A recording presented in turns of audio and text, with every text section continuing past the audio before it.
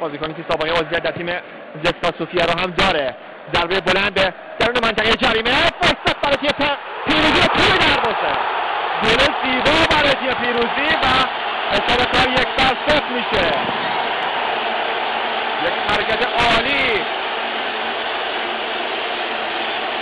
از یک زاویه تنگ پیروزی یک بر صفر جلو میافته. بله پاس ملوان صفر صفر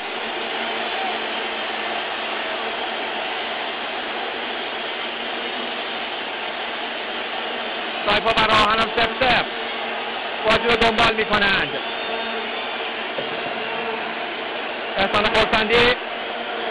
تیمش رو به زیبایی یک بر جلو میندازه. سپاهان هم در مقابل برق شیراز یک گل خورده. نتایج ضعیف سپاهان.